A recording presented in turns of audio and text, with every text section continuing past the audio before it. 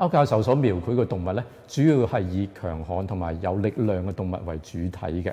譬如而家見到呢對嘅獅子就係啦。雖然呢張畫上面所描繪嘅獅子唔係以佢兇猛嘅形象嚟到見人，而係佢好悠閒咁俯伏喺石上邊。但係咧喺其他佢嘅其他嘅作品上面咧，都會睇到誒呢、呃這個獅子或者老虎咧係好下有力咁樣樣嘅表現佢哋嘅力量嘅。咁而呢張畫上面特別嘅地方咧，我哋會見到咧就係話喺上面有趙老師嘅題字。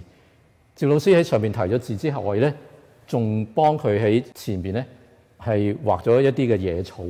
咁呢張可以話咧係師徒嘅合作嘅嘅一件嘅作品嚟嘅。再後來咧過咗幾廿年之後咧，歐教授再喺上面提咗一首詩，大致嘅內容係想想講咧就係話喺現今嘅藝壇上邊咧，似乎已經比較沉寂。佢希望透過思考呢種咁嘅叫聲咧，嚟到去震醒呢啲比較上沉寂嘅畫壇嘅情況嘅。